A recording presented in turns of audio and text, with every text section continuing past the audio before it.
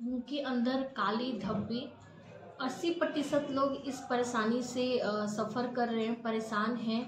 And basically होता है क्या है कि मुँह के अंदर जब काले, धब्बे होते हैं तो उसके जो सिम्टम्स आपको दिखते हैं या फिर जो भी फील होता है पेशेंट अच्छे से समझ नहीं पाते हैं एंड घबराने लगते हैं।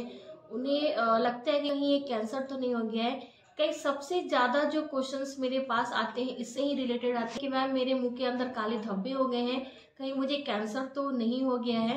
एंड और भी क्वेश्चंस आते हैं, जैसे कि बहुत सारे पेशेंट क्वेश्चन करते हैं कि मैम, मैंने जो मेरे जो हैबिट्स थे स्मोकिंग टोबैको चिविंग जो भी हैबिट्स थे, मैंने एक या दो साल पहले छोड़ दिया है, लेकिन फिर भी मेरे मुँह के अंदर काले धब्बे हो रहे हैं तो आखिर ऐसा क्यों हो रहा है? हेलो गाइज़ कैसे हैं आप लोग? मैं हूँ डॉक्टर कंचन। सो so, आज के वीडियो में हम जानेंगे जो मुँह के अंदर काले धब्बे होते हैं क्यों होते हैं। साथ ही साथ इस चीज़ को भी समझेंगे कि ये आ, कितने परसेंट कैंसरस होते हैं या फिर होते भी हैं या नहीं होते हैं। एंड जो आपके बहुत सारे क्वेश्चंस आते हैं वो भी हम इस वीडियो में डिस्कस करने वाले हैं। सो so, वीडियो स्टार्ट करने से पहले आप सभी से रिक्वेस्ट है चैनल पे नए हैं तो चैनल को सब्सक्राइब करिए। एंड बेल आइकन को ज़रूर दबाइए, इससे मेरी जो भी नई वीडियो आएँगी, उनका नोटिफिकेशन आपको मिल पाएगा। ये जो मुँह के अंदर जो काले धब्बे होते हैं, ये कई कारणों की वजह से होते हैं एंड कई, कहीं भी आपके मुँह में हो सकते हैं। जैसे कि पैलेट पे, यानी कि ऊपर की जो तालू होती है, वहाँ पे इनसाइड द चिक जो आपके अंदर का जो ओरल मिकोजा होता है, वहाँ हो सकता है आपकी जी जीप पे दिख सकते हैं, जो ओट के अंदर का जो सॉफ्ट पोर्शन होता है, वहाँ दिख सकता है आपकी मसूरों पे हो सकते हैं। तो ये जो प्रॉब्लम होती है ओवरऑल आपके माउथ में कहीं भी हो सकता है। दिखने में भी ये कई तरह के दिख सकते हैं, जैसे कि आपको स्पॉट्स यानी कि धब्बे के जैसे दिख सकते हैं, या फिर पैचेज भी दिख सकते हैं। इमेज में आप यहाँ देखकर समझ सकते हैं कि स्पॉट एंड पैचेज किस तरह के होते हैं तो इनका जो अपियरेंस होता है जो आपके माउथ में दिखते हैं इस तरह के दिख सकते हैं। सो so, गैस हम पहले आ, समझते हैं कि ये जो काले धब्बे हैं आखिर ये होते क्यों हैं? तो एक टर्म्स है मेलानिन मैंने अपने बहुत सारे वीडियोस में आपको बताया है समझाया है कि ये जो मेलानिन है ये कोई बीमारी नहीं है। हमारे शरीर में हमारे बॉडी में प्रेजेंट एक तरह का हार्मोन है। एंड ये जो हार्मोन है ये अपने आप इट्सेल्फ हमारे बॉडी में बनता है।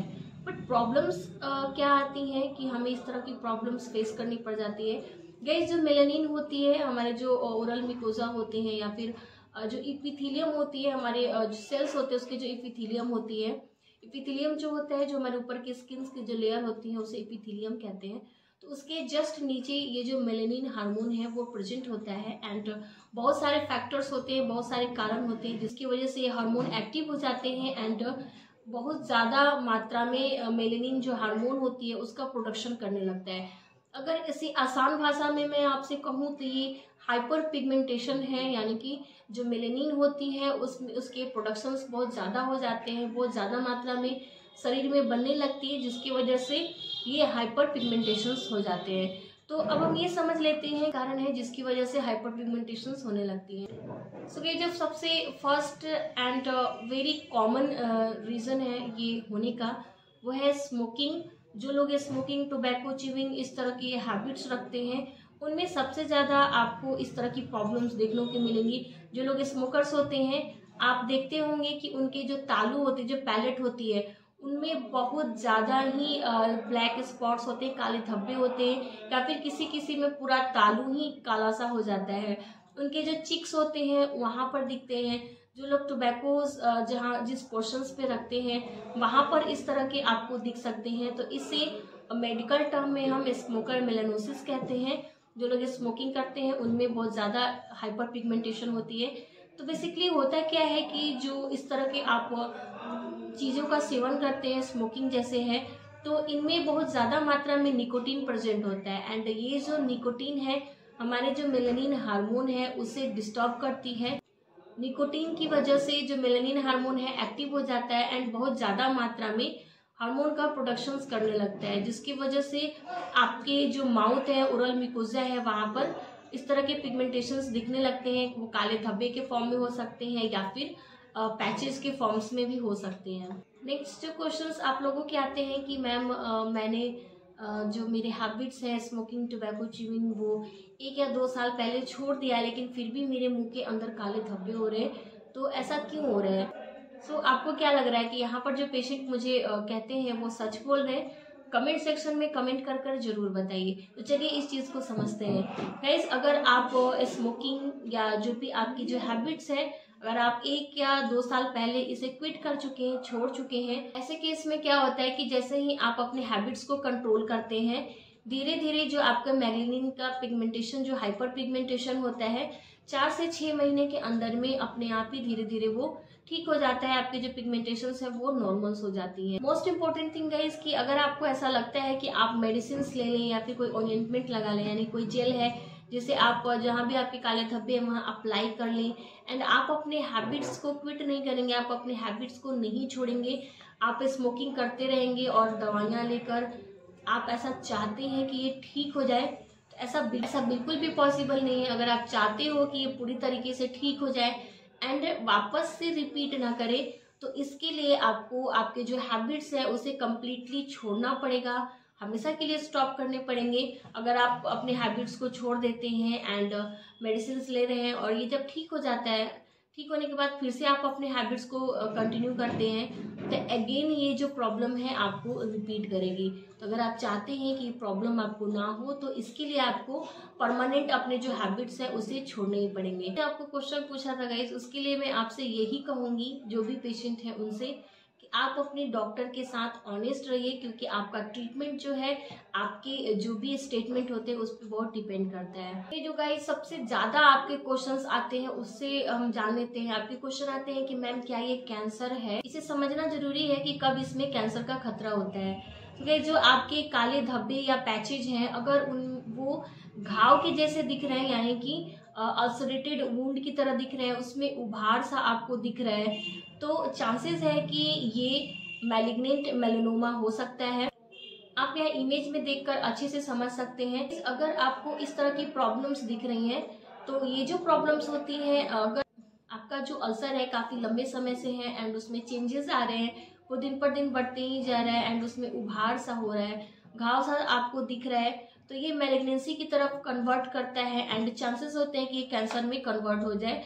तो ऐसे कंडीशन में आपको ज़रूर अपने जो भी नियरेस्ट डॉक्टर है, उनसे कंसल्ट करना चाहिए। अब आपका क्वेश्चन आता है कि हम कौन से डॉक्टर को दिखाएँ?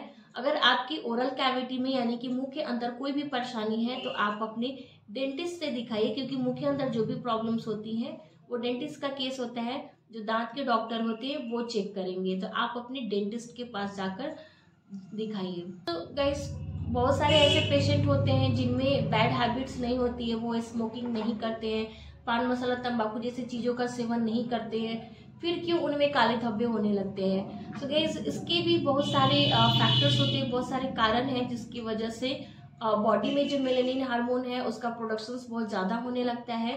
तो जैसे सन एक्सपोजर की वजह से, अभी जो गर्मियाँ आ रही हैं, इस टाइम पे अगर जो इंसान बहुत ज़्यादा सन के एक्सपोजर में रहते हैं तो सन एक्सपोजर में आने की वजह से जो मेलेनिन जो हार्मोन है, उसमें बहुत ज़्यादा प्रोडक्शन होने लगती हैं, जिस कारण ये जो काले धब्बे हैं आपको दिखने को मिल सकते हैं। ये जो ब्लैक स्पॉट्स आपके ओवरऑल बॉडी में कहीं भी हो सकते हैं बट हम यहाँ ओरल कैविटी की बात कर रहे हैं तो माउथ में भी आपको ये दिख सकते हैं। कि इसकी बहुत सारे ऐसे मेडिसिन होते हैं, अगर आपको किसी तरह की प्रॉब्लम्स हैं और आप मेडिसिन ले रहे हैं तो बहुत अलग अलग तरह की मेडिसिन होते हैं जिसके साइड इफेक्ट्स की वजह से भी ये प्रॉब्लम्स आपको हो जाती है। नेक्स्ट होता है कि अमलगम टैटू अगर आपने कभी अपने दांत में फिलिंग करवाई हो रेस्टोरेशन करवाया हो, कभी आपके दांतों में कैविटी हो रखी, हो गई हो एंड आपने उसमें अमलगम भरवाया है, जो कि अब शायद ही कोई डॉक्टर इसे फील करते हैं, बहुत रेयर ही है, नहीं तो ये जो मटेरियल है, अब फील नहीं किया जाता है। अगर आपने अपने दांतों में अमलगम भरवाया है तो जो अमलगम होती है, उसकी वजह से भी आप, उसके दांत के सराउंडिंग के जो पोर्शन होते हैं हमारे माउथ में, वहाँ पर आपको काले धब्बे जैसे दिख सकते हैं। तो इसमें आपको घबराने की कोई ज़रूरत नहीं है। अमलगम जो टैटूज इसे मेडिकल टर्म में अमलगम टैटू कहते हैं। इससे आपको किसी भी तरह की प्रॉब्लम्स नहीं आनी है एंड ना ही ये किसी तरह का कैंसर होता है। बस ये आपको दिखने में काला धब्बा सा दिखता है, बस।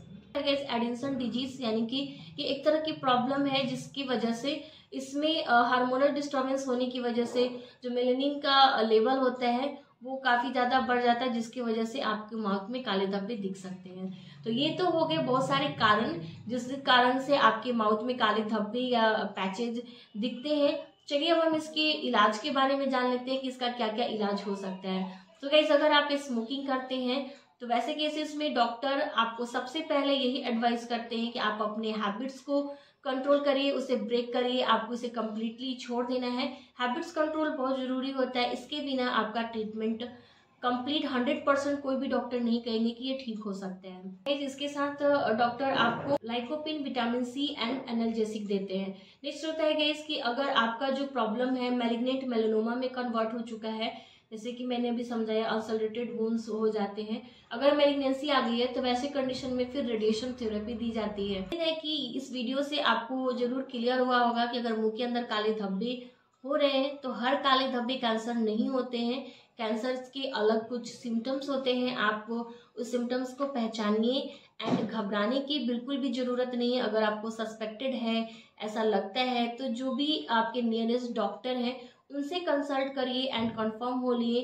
परेशान होने की ज़रूरत नहीं है। फिर अगर आप चाहते हैं मुझसे अपना इलाज करवाना तो ऊपर दिए गए कॉन्टैक्ट नंबर पे आप मुझे कॉन्टैक्ट करके भी अपना ट्रीटमेंट करवा सकते हैं। सो गई ये था आज का वीडियो आई होप कि आपके लिए हेल्पफुल रहा हो। अगर यस तो लाइक दीजिए एंड अपने फैमिली फ्रेंड्स में ज़रूर शेयर करिए। तब तक be healthy and be happy